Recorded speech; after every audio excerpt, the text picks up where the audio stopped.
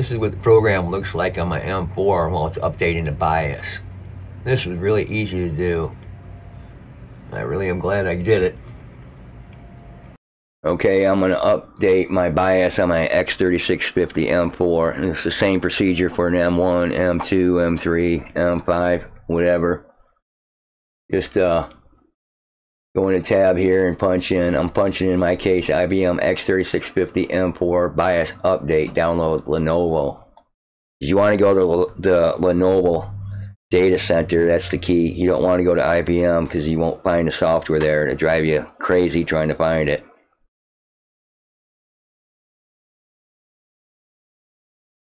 But you can punch your serial number in here if you want to. Drivers and software. click on that. Right here, Lenovo X Clarity Essentials. Update Express BOMC. That's where I'm going for this software for the Windows box. All right.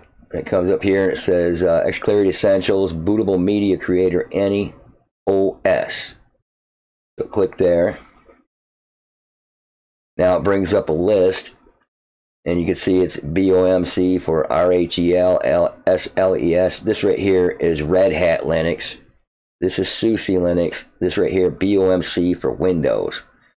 That's the one I want because I'm using a Windows box to do the update. README right here will help guide some of the stuff if you uh, if you're doing a different operating system, but you just got to get the right one for your operating system. Windows is very easy, so we're going to do that. Go ahead and download it.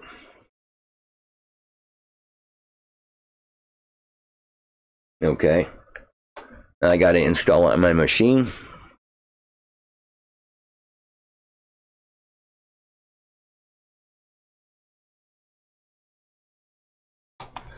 Okay, now after you did your executable, just go ahead and run this as an administrator.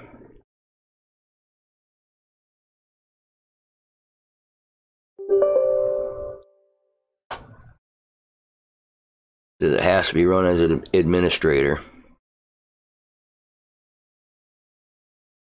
Okay. Descriptive name. That's fine. Load in previously saved configuration. No. Check for latest tool version. No, we just downloaded this. Don't need to. So I'm going next. Now it's asking for a targeted platform.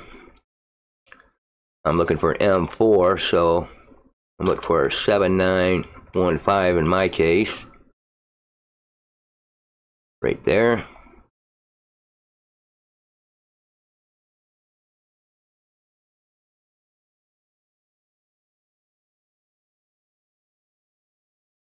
Next.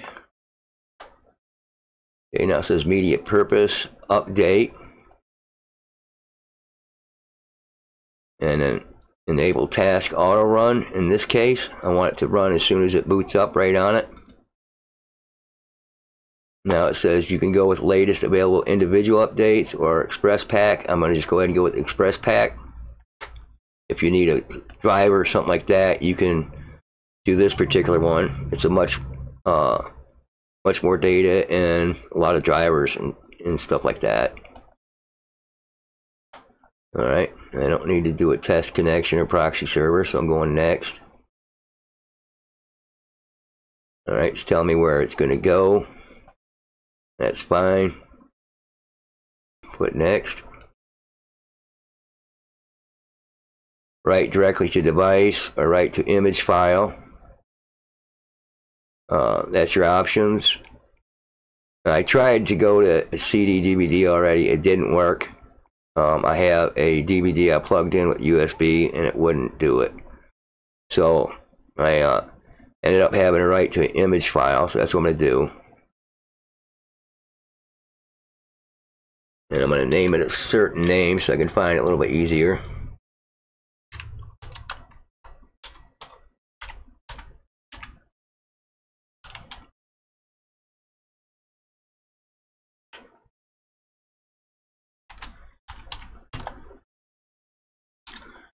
All right, a little bit more user friendly. Now I need to know which mode.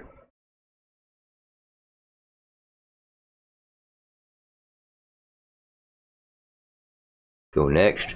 Now it's going to give us a synopsis of the system, machine type, and what it's downloading, and where it's going to end up at, image file name, the target directory,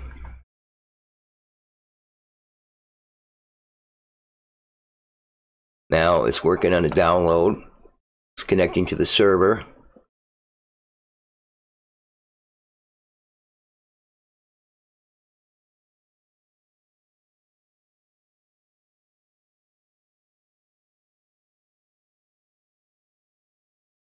Okay, I got 38 updates. I'm gonna go next.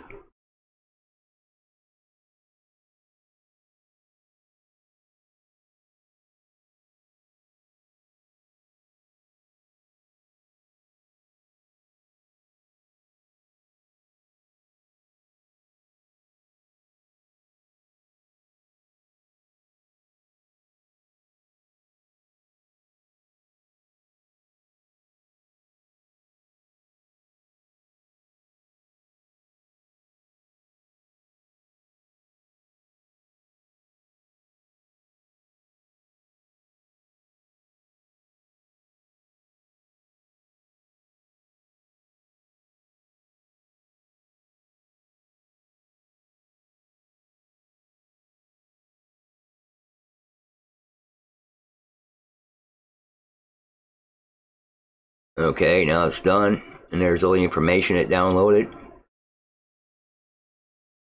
Alright. Says the image file path is C users Greg for desktop working dir bootable dash x3650 M4 BIOS ISO. So you're going to need that directory. Let's take a look.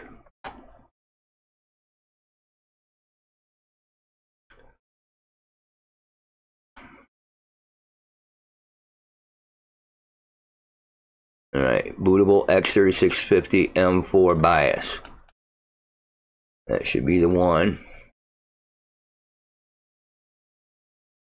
That is correct. So that's the one I'm going to need to put to my DVD. So I'm going to need that.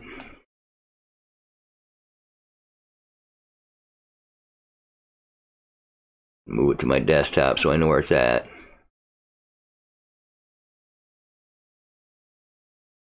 We could take a look at these tools in here to see what they are. You can see there's quite a few of them. MM2 update, hard disk drive, network, server RAID, UEFI. There's a lot of goodies in there. Okay, so I'm going to go next and then finish. Are you sure you want to exit? Yep, I'm done.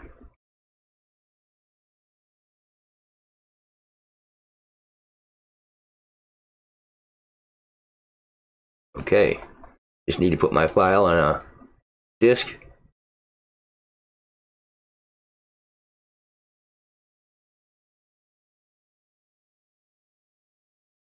Okay, so I just right clicked on here and just burn disk image, selected that,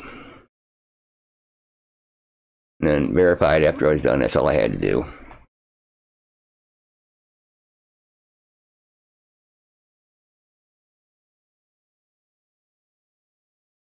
Here's the disk.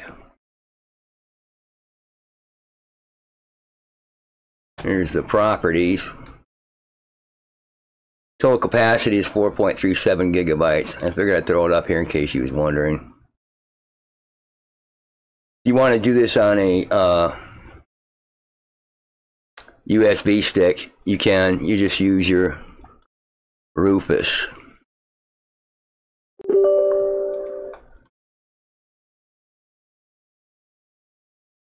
Just use Rufus and follow directions. That's all you got to do just run it through here. And then select the ISO through here. Okay? And it'll make you a bootable USB. So I made that disk and I just put it in the machine and turn the machine on. I had already set the BIOS so it would boot to the DVD and it booted up on it and then it just uh, went right to work and just followed right along Tell it okay and start and all that stuff when it asks you. That's all you got to do. All right, have a good one.